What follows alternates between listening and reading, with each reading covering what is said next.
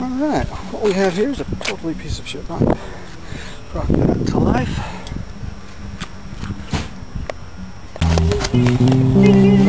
Don't like